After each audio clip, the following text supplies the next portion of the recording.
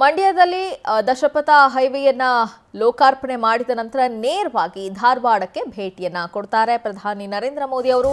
ಪೇಡಾ ನಗರಿಯಲ್ಲಿ ಮೋದಿ ಮೋಡಿಗೆ ಕ್ಷಣಗಣನೆ ಆರಂಭ ಆಗಿದೆ. ಭಾರತದ ಮೊದಲ ಹಸಿರು ಐಐಟಿ ಕಟ್ಟಡವನ್ನ ಲೋಕಾರ್ಪಣೆ ಮಾಡಲಿದ್ದಾರೆ ಪ್ರಧಾನಿ ನರೇಂದ್ರ ಮೋದಿ ಅವರು. ಲೋಕಾರ್ಪಣೆಗೆ ಕಟ್ಟಡ ಸಜ್ಜಾಗಿದೆ ಎಂಟುನೂರ ಐವತ್ತೆರಡು ಕೋಟಿ ವೆಚ್ಚದ ಐಐಟಿ ಕ್ಯಾಂಪಸ್ಗೆ ಪ್ರಧಾನಿ ಮೋದಿ ಚಾಲನೆಯನ್ನ ಕೊಡ್ತಾರೆ. ಧಾರವಾಡದ ಚಿಕ್ಕ ಮಲ್ಲಿಗವಾಡ ಬಳಿ ಐಐಟಿ ಕ್ಯಾಂಪಸ್ ಅನ್ನು ನಿರ್ಮಾಣ ಮಾಡಲಾಗಿದೆ. ಐದು ಸಾವಿರ ಕೋಟಿಯ ವಿವಿಧ ಕಾಮಗಾರಿಗಳಿಗೆ ಪ್ರಧಾನಿ ಮೋದಿ ಚಾಲನೆಯನ್ನ ನೀಡ್ತಾರೆ. ಮೊದಲ ಹಂತದಲ್ಲಿ ಹದಿನೆಂಟು ಕಟ್ಟಡವನ್ನ ಈಗಾಗಲೇ ಸರ್ಕಾರ ನಿರ್ಮಾಣ ಮಾಡಿದೆ. ನಾನೂರ ಎಪ್ಪತ್ತು ಎಕರೆ ಪ್ರದೇಶದಲ್ಲಿ ಐಐಟಿ ಕ್ಯಾಂಪಸ್ ನಿರ್ಮಾಣ ಆಗಿದೆ. ಎಂಟುನೂರ ಐವತ್ತೊಂದು ಕೋಟಿ ವೆಚ್ಚದಲ್ಲಿ ಧಾರವಾಡದಲ್ಲಿ ಐಐಟಿ ಕ್ಯಾಂಪಸ್ ಅನ್ನ ನಿರ್ಮಾಣ ಮಾಡಲಾಗಿದೆ. ಇನ್ನು ನೂರ ನಲವತ್ತ ನಾಲ್ಕು ಗ್ರಾಮ ಪಂಚಾಯಿತಿಯ ಜಲಜೀವನ ಯೋಜನೆಗೂ ಕೂಡ ಇದೇ ಕಾರ್ಯಕ್ರಮದಲ್ಲಿ ಚಾಲನೆಯನ್ನ ಪ್ರಧಾನಿ ನರೇಂದ್ರ ಮೋದಿ ಅವರು ಕೊಡ್ತಾರೆ. ಭಾರತದ ಮೊದಲ ಹಸಿರು ಐಐಟಿ ಕಟ್ಟಡ ಲೋಕ, ಲೋಕಾರ್ಪಣೆ ಆದ ನಂತರ ವಿವಿಧ ಅಭಿವೃದ್ಧಿ ಯೋಜನೆಗಳಿಗೆ ಚಾಲನೆಯನ್ನು ಕೊಡ್ತಾರೆ. ಅದರಲ್ಲಿ ನಾನ್ ನೂರ ನಲವತ್ನಾಲ್ಕು ಗ್ರಾಮ ಪಂಚಾಯಿತಿಯ ಜಲಜೀವನ್ ಯೋಜನೆಗೆ ಚಾಲನೆ ನೀಡಲಾಗುತ್ತೆ. ವಿವೇಕ ಯೋಜನೆಯಡಿ ಇನ್ನೂರ ತೊಂಬತ್ತೈದು ಶಾಲಾ ಕೊಠಡಿಯನ್ನು ನಿರ್ಮಾಣ ಮಾಡಲಾಗಿದೆ. ವಿಶ್ವದ ಅತಿ ಉದ್ದದ ರೈಲ್ವೆ ಪ್ಲಾಟ್ಫಾರ್ಮ್ ಅನ್ನು ಕೂಡ ಲೋಕಾರ್ಪಣೆ ಮಾಡ್ತಾರೆ. ಐನೂರ ಐವತ್ತೆರಡು ಕೋಟಿ ವೆಚ್ಚದ ರೈಲ್ವೆ ಯೋಜನೆ ಉದ್ಘಾಟನೆ ಆಗುತ್ತೆ. ಕಿಮ್ಸ್ ಆವರಣದಲ್ಲಿ ಎಪ್ಪತ್ತು ಕೋಟಿ ವೆಚ್ಚದ ವಸತಿ ನಿಲಯ ಕೂಡ ಲೋಕಾರ್ಪಣೆ ಆಗುತ್ತೆ.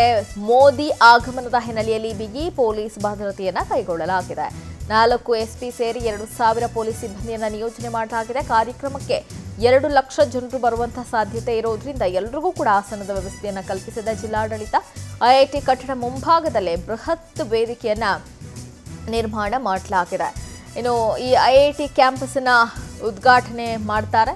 ಮಂಡ್ಯ ಕಾರ್ಯಕ್ರಮ ಮುಗಿದ ನಂತರ ನೇರವಾಗಿ ಅವರು ಧಾರವಾಡಕ್ಕೆ ಬರ್ತಾರೆ.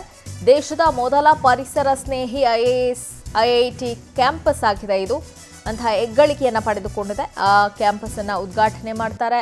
ಕ್ಯಾಂಪಸ್ನಲ್ಲಿದೆ ಚಾಲುಕ್ಯ ವಿಜಯನಗರ ಸಾಮ್ರಾಜ್ಯದ ವಾಸ್ತುಶಿಲ್ಪ ಇನ್ನು ಮುಖ್ಯ ದ್ವಾರದಲ್ಲಿ ಹಂಪಿಯ ಪ್ರಸಿದ್ಧ ಕಲ್ಲಿನ ರಥ ಕೂಡ ಕಂಗೊಳಿಸ್ತಾ ಇದೆ.